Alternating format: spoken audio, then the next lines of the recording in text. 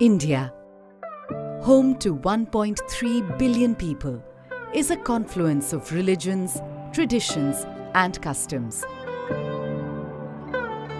A thriving global center of technology and the world's largest democracy.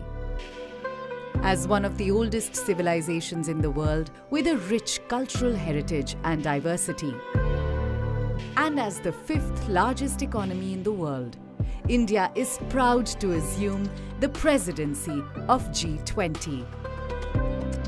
As the country blooms into a new era, we look to another poignant symbol for humanity to emerge victorious from challenges.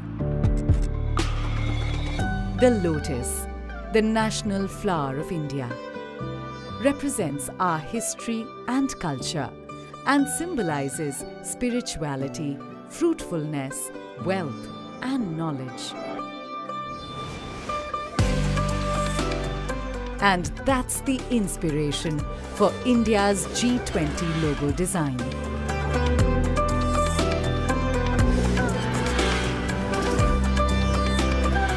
The design rendered in saffron, white, green and blue is drawn from the national flag of India.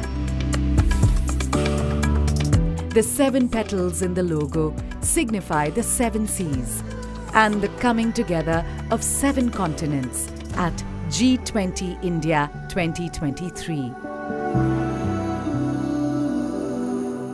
Sitting above the lotus is a representation of the earth, reflecting India's pro planet approach to life and seeing the world as one family. From this, we derive the theme for G20 India 2023 Vasudhaiva Kutumbakam One Earth, One Family, One Future.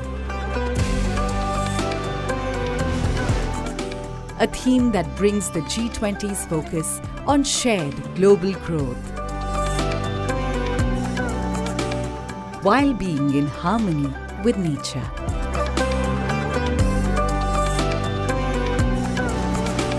20 India 2023.